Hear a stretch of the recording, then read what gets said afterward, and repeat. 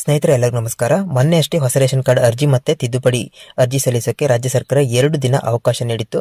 So, ನಿಮಗೆಲ್ಲರಿಗೂ ಗೊತ್ತಿರುವ ವಿಚಾರ, ಅದರಲ್ಲಿ ಕೆಲವೊಬ್ಬರಿಗೆ ಅಂದರೆ ತುಂಬ ಸರ್ವರ್ ಸಮಸ್ಯೆ ಕೂಡ ಮತ್ತೆ ಬಂದಿತ್ತು. ಹಾಗಾಗಿ ಇವಾಗ ತುಂಬ ನನ್ನ ಕಳೆದ ವಿಡಿಯೋದಲ್ಲಿ ತುಂಬ ಮಂದಿ ಕಮೆಂಟ್ ಕೂಡ ಮಾಡಿದ್ರು.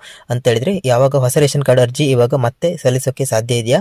ಜೊತೆಗೆ ತಿದ್ದುಪಡಿ ಅರ್ಜಿ ಸಲ್ಲಿಸೋಕೆ ಇವಾಗ ಸರ್ವರ್ ಇದೆಯಾ ಅಂತ ತುಂಬಾ ಮಂದಿ ಕೇಳ್ತಿದ್ರು ಸೊ, ಅದಕ್ಕೋಸ್ಕರ ನಿಮಗೆ ಇವತ್ತಿನ ವಿಡಿಯೋದಲ್ಲಿ ಸಂಪೂರ್ಣವಾಗಿ ಮಾಹಿತಿಯನ್ನು ತಿಳಿಸ್ಕೊಡ್ತೀನಿ. ಅಂತ ಹೇಳಿದ್ರೆ, ಹೊಸ ರೇಷನ್ ಕಾರ್ಡ್ಗೆ ಅರ್ಜಿ ಸಲ್ಲಿಸೋಕೆ ನಿಮಗೆ ಸಾಧ್ಯ ಇದೆಯಾ ಇವಾಗ?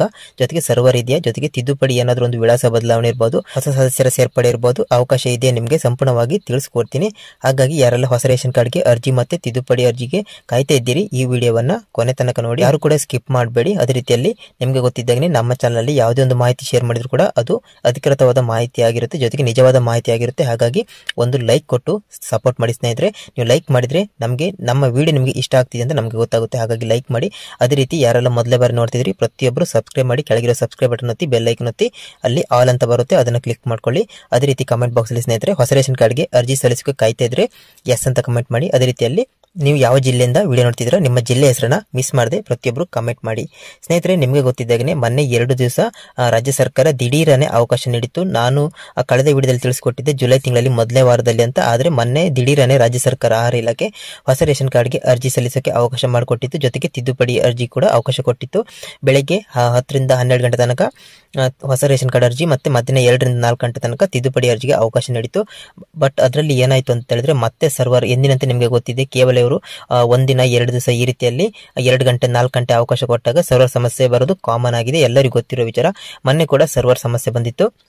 ಹಾಗಾಗಿ ಇವಾಗ ಮೊನ್ನೆ ಅರ್ಜಿಯನ್ನು ಸಲ್ಲಿಸೋಕೆ ಆಗದಿದ್ದವರು ಮತ್ತೆ ತಿದ್ದುಪಡಿ ಅರ್ಜಿ ಸಲ್ಲಿಸೋಕೆ ಆಗದಿದ್ದವರು ತುಂಬಾ ಮಂದಿ ಕಮೆಂಟ್ ಕೂಡ ಮಾಡ್ತಿದ್ರು. ಇನ್ನು ಯಾವಾಗ ಅರ್ಜಿ ಬಿಡ್ತಾರೆ? ಜೊತೆಗೆ ಇವಾಗ ಮತ್ತೆ ಸರ್ವರ್ ಇದೆಯಾ? ಇವಾಗ ಅಂದ್ರೆ ಅದನ್ನು ಸ್ಟಾಪ್ ಮಾಡಿದ್ರೆ ಅಥವಾ ಮತ್ತೆ ಅವಕಾಶ ಇದೆಯಾ ಅಂತ ಕೇಳ್ತಿದ್ದಾರೆ. ಸ್ನೇಹಿತರೆ, ಅದ್ರ ಬಗ್ಗೆ ಹೇಳ್ಬೇಕಂತ ಹೇಳಿದ್ರೆ, ಇವಾಗ ತಿದ್ದುಪಡಿ ಅರ್ಜಿಗೆ ಮತ್ತೆ ಅವಕಾಶ ಇದೆ ಅಂತ ಹೇಳಿದ್ರೆ ನಿಮಗೆ ಸರ್ವರ್ ಇವಾಗನೂ ಕೂಡ ಇದೆ.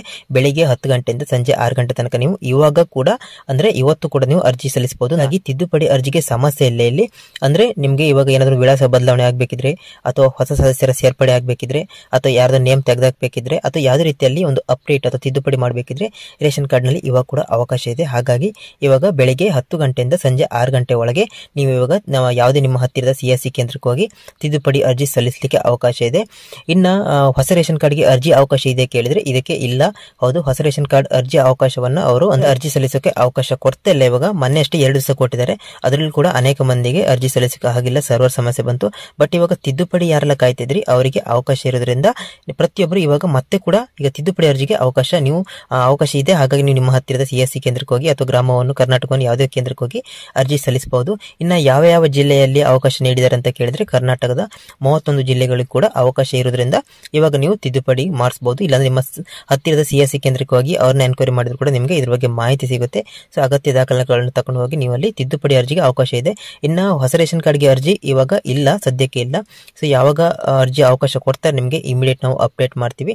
ಹಾಗಾಗಿ ನಮ್ಮ ಚಾನಲ್ನ ಸಬ್ಸ್ಕ್ರೈಬ್ ಮಾಡಿ ಇಟ್ಕೊಳ್ಳಿ ಅದೇ ರೀತಿ ಈ ಮಾಹಿತಿಯನ್ನು ನಿಮ್ಮ ಸ್ನೇಹಿತರಿಗೆ, ಮನೆಯವರಿಗೆಲ್ಲರಿಗೂ ಶೇರ್ ಮಾಡಿ. ಅದೇ ರೀತಿ ಈ ಮಾಹಿತಿಗಾಗಿ ಒಂದು ವಿಡಿಯೋನ ಲೈಕ್ ಕೊಟ್ಟು ಸಪೋರ್ಟ್ ಮಾಡಿ. ಕಾಮೆಂಟ್ ಬಾಕ್ಸ್ನಲ್ಲಿ ಹೊಸ ರೇಷನ್ ಕಾರ್ಡ್ಗೆ ಅರ್ಜಿ ಸಲ್ಲಿಸಕ್ಕೆ ಕಾಯ್ತಾ ಇದ್ರೆ ಎಸ್ ಅಂತ ಕಮೆಂಟ್ ಮಾಡಿ, ನಿಮ್ಮ ಜಿಲ್ಲೆಯ ಹೆಸರನ್ನ ಕಮೆಂಟ್ ಮಾಡಿ.